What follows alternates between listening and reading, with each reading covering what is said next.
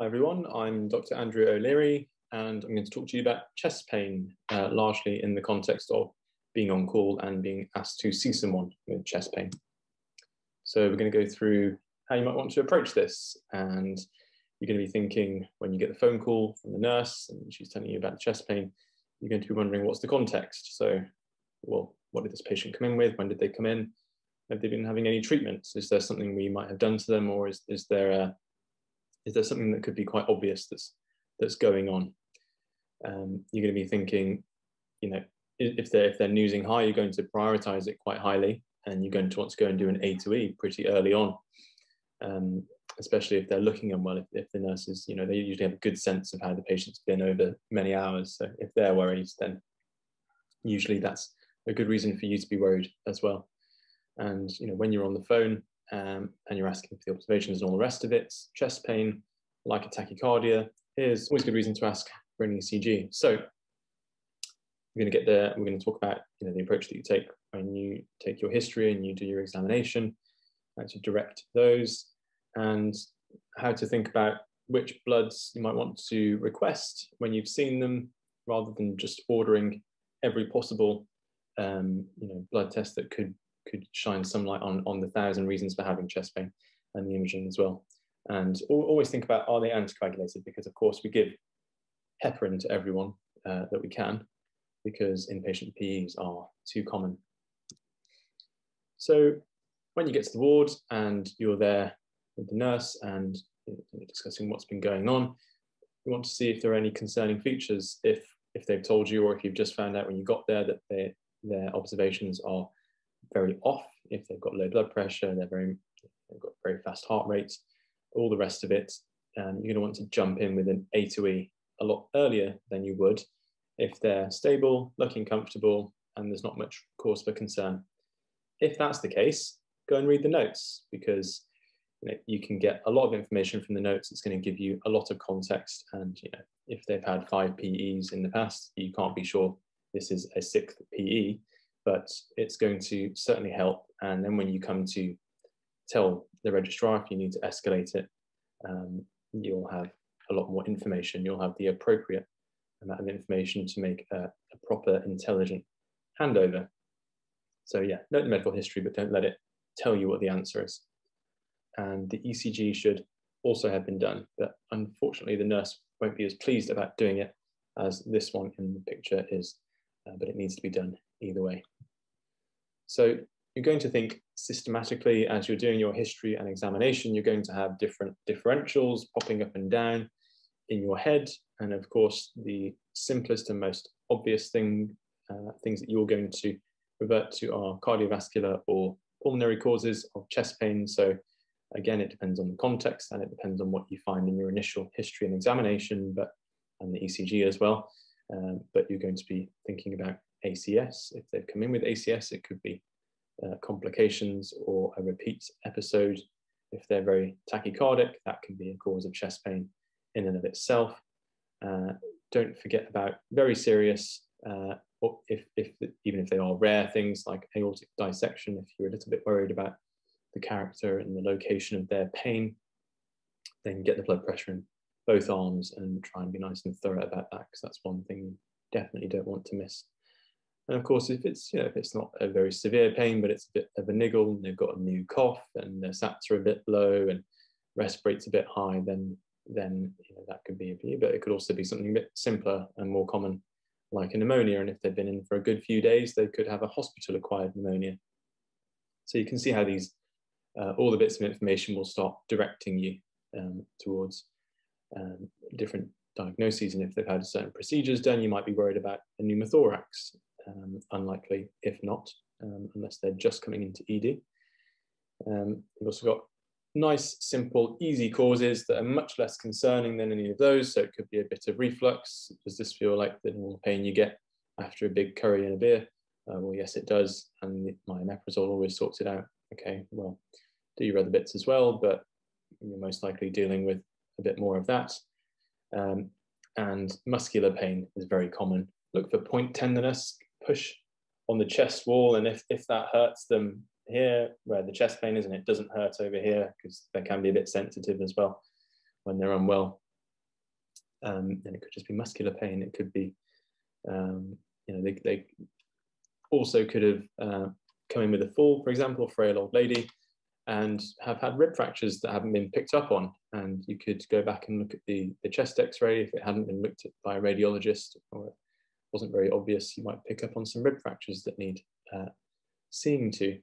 And, you know, when you're doing, when you're dealing with chest pain, it, it really is one of those situations where the history and examination um, really will shine a lot of light on what's going on. And with the history, Socrates um, is probably from medical school one of the things that are that are actually as useful as it seems like it might be um, in practice. So to want to do some investigations. Um, these will depend on your initial findings. So uh, as I said, you'll, you'll always have done your ECG and that will tell you if there are any ischemic changes. Uh, look at your S1, Q3, T3. I've only seen it once, but um, you know, it is it is rare, but it's worth, worth looking at. Don't forget that your PEs, the most common sign is the sinus tachy uh, on the ECG, so don't ignore that either. Um, but when you're thinking about doing your bloods as well, um, you'll have, you know, depending on what you found, you might be thinking of infection, especially the pyrexial, but other things as well. Um, you'll be you'll be thinking maybe there'd be a toss up between do I do a troponin or a D dimer. You wouldn't want to necessarily be doing both.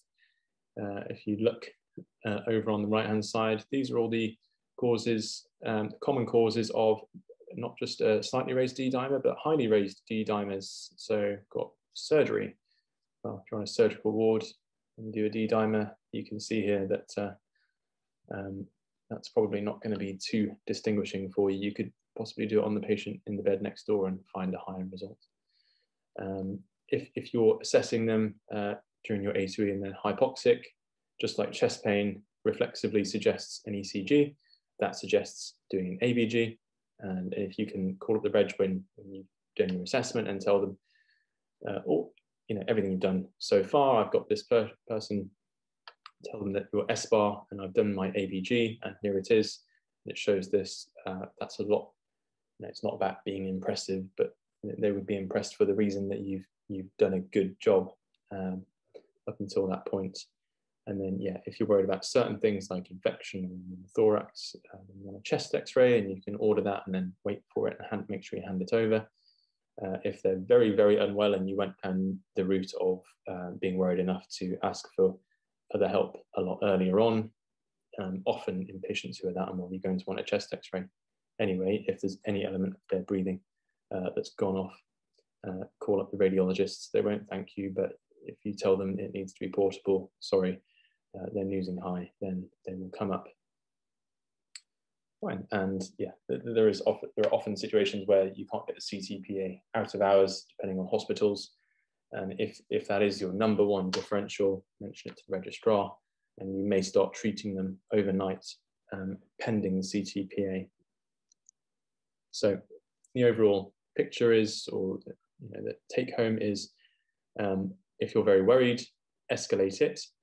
Um, but if you've got time, do all the basics first. Um, if you can say, I've, I've done all of this and, and this is what I found and this is what I think, then you're going to not only have done a better job and save everyone else more work, but you're going to learn quicker and, and progress as a doctor um, earlier on. So yeah, the, the registrar wants to know that they're very busy, but you know they're, they're at work. They um, you know they're meant to be busy, unfortunately. So you need to you need to tell them they want to know about sick patients. They need to know about them because they'd rather know now while they're quite sick than later when they're extremely sick, and they, they wish they would have known.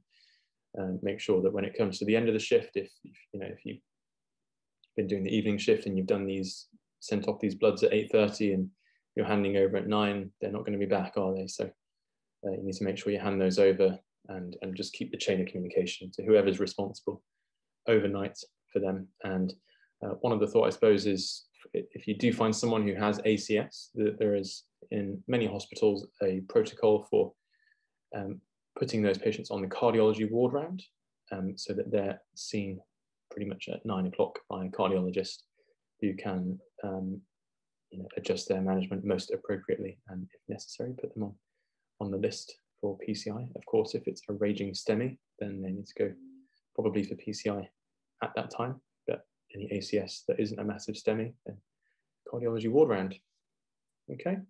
And I suppose the last point would be just in all these patients that are, particularly unwell, check their uh, treatment escalation plan, check it's appropriate, check it's in date, not from five years ago and it's been copied and copied. And if you're very worried and you think they are unstable, um, you can start talking to ITU and see if, if they think they'd be a good a good candidate, especially a 60 year old bloke who's coming and is having uh, further episodes um, as a consequence of his ACS. They, they will be very interested as opposed to the 95 year old who is uh, unfortunately going downhill. So that's all I've got for you for now.